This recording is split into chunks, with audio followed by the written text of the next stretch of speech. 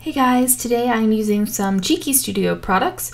I'm pretty excited to be using them. They are the winter florals.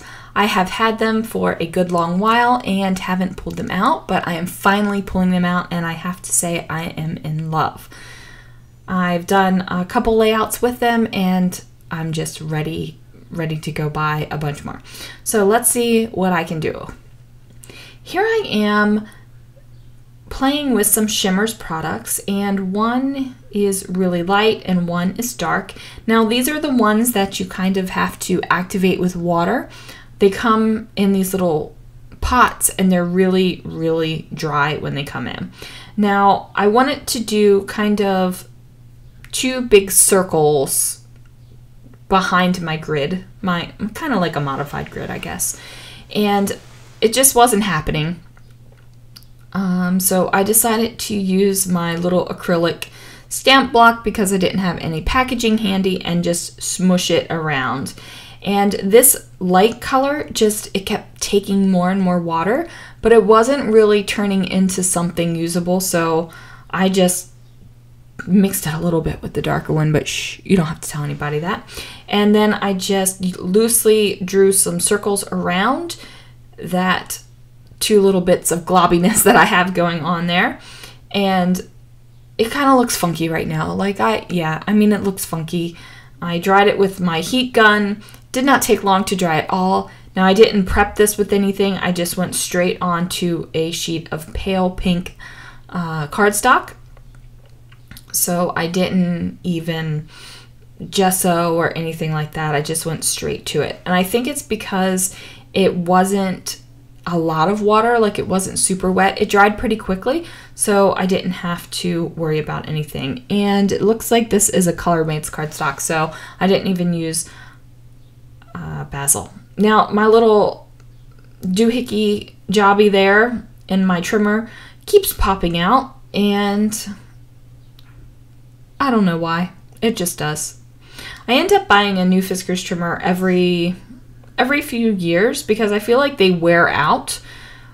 So they like make straight cuts in the beginning, but then they wear out and I have to replace it. I haven't made the commitment to buy one of the big expensive trimmers yet just because I like gutting papers and I like being able to cut things out of the center. So I haven't like tried a color a Cutterpillar or anything like that just because I need something to do the center. So here I am uh, making my grid happen. And at first I thought I was going to use this card right here with these big, beautiful pink florals on it. And I do change that out. And I'm using these beautiful floral die cuts. I mean, they are just gorgeous. And I know that they are called winter florals. And that's fine and dandy, but you know, I'm not using them in winter pictures. I'm using them for more more woods pictures, guys. Okay. So, I have a serious love of Muir Woods. You just go there and it's just this tranquil, beautiful spot and the huge redwoods are all around and it's just quiet and serene and you walk into kind of this bubble of nature. And even where the store and the little food area is, uh, up up a little hill, you have to travel up some steps. Even that, even though it's got the hustly nature and you know people are eating and people are talking and people are shopping and that kind of thing is going on, there's still this just this bubble of beauty and like away. It's all I can when I feel like I'm away when I go there. And it's just it's just awesome. So I've probably taken the same pictures of the same logs and the same trees, but I don't care. I'm going to scrapbook them because I love them. So there it is. Now, as you can see, this is where I switched out that card. I'm also using these teal uh, stickers, and this was in the floral kit as well. And I'm just going to use two of them to spread the banner across the bottom photo and the bottom uh, 3x4 card here.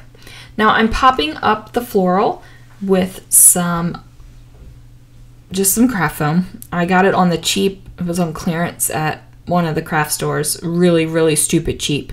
And I can't justify the cost of buying the foam that's already gluey on the back, especially when I get stupid cheap, stupid, stupid cheap craft foam uh, on clearance.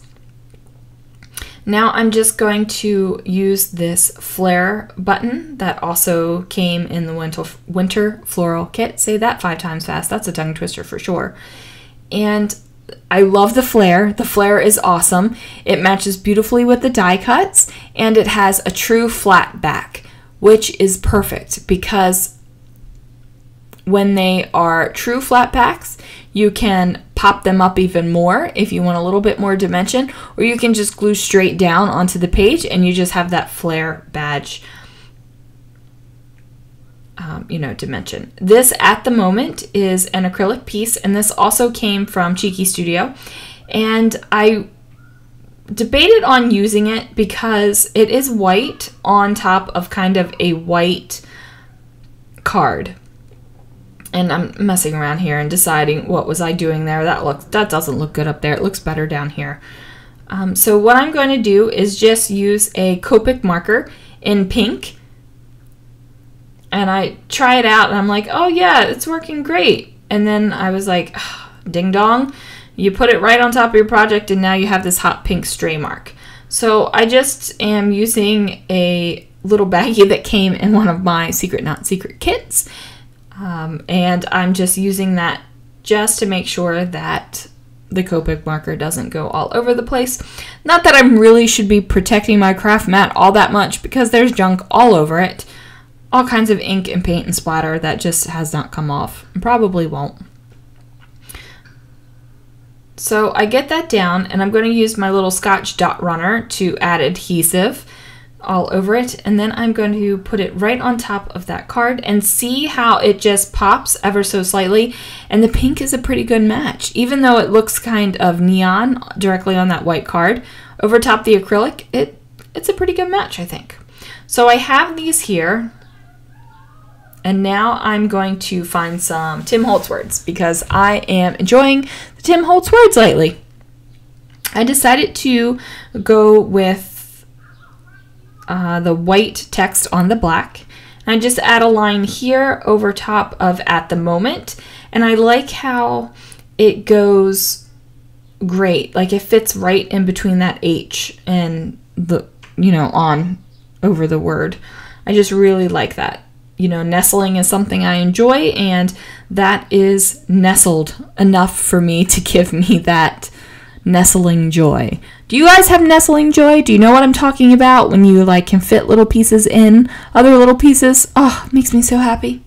Okay, so now I have my words here.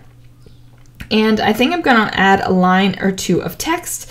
And then I'm thinking it needs a little it needs a little pow. It needs a little pop. It needs a little something something. So I decide to cut off um, some bits around the pink cardstock and I am going to go ahead and adhere this right onto the black cardstock. Now I took a half an inch off the bottom and quarter inch off of each side and that was because I had that floral already up there at the top and I didn't want to take it off and replace it. So I went ahead and did that. So now it has this great pop of black in the background and I'm just finding a good pen to write a line or two. I don't think I write a whole lot. There's only so many times you can you can talk about how great Muir Woods is and how it's serene and it's an escape. So that's going to be it, guys. Thanks so much. Check out the links below, and I'll see you soon.